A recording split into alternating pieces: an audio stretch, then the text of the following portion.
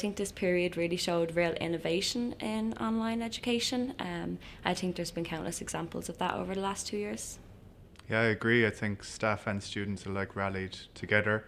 And there was lots of uh, new ways of doing things, like new ways of doing assessment, um, you know, new pedagogical approaches like flipped classroom.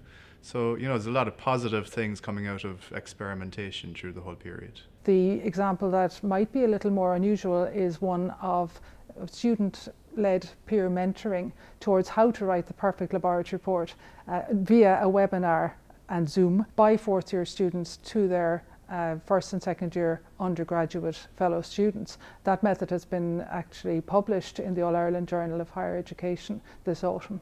I introduced Folio in a creative way where the first years could deliver their e-portfolio. You work away together seamlessly. It's informal, it's fun, they can lead it, you can show what's needed and they can follow and they can carry them forward for the rest of their career. In terms of trying to help students to engage and be awake and look forward to coming to lectures, so I began every lecture with a short music session where I played uh, a piece of something, so that kind of sparked a bit of debate and a bit of chat among the class.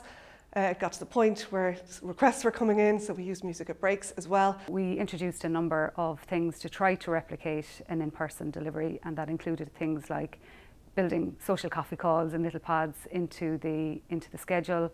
Um, we introduced social activities such as online quizzes, uh, Zingo, which is bingo and Zoom combined, um, as well as um, being able to divide the students into pods uh, which wouldn't have been which wouldn't have been possible if they were in person in the different um, incubators across the six campuses.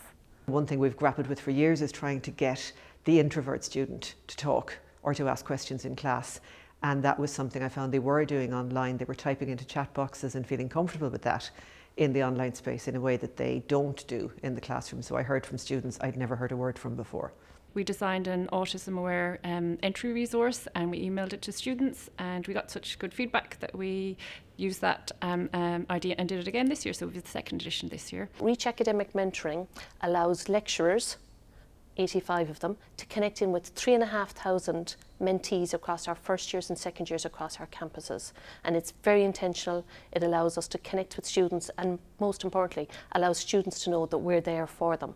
I have found that equally geography could, could, could often terms be a constraint. So I've a class of students that I want the client to meet on a Tuesday afternoon during their 2 p.m. lecture. Uh, you know, and that mightn't be practical oftentimes for uh, the partner organisation, but to be able to do it online, uh, um, you know, overcame that uh, obstacle. Academics really rose to the challenge in a really short period of time to put in place a set of alternative learning and assessment strategies for those students for whom unfortunately placement couldn't go ahead as they had hoped. Encrypting the laptops and, and automating the imaging process I think was one of the one of the big things we needed to resolve. Obviously there was a skeleton staff on campus during um, during the pandemic so we had to be efficient um, and as resourceful as possible with the resources that we had.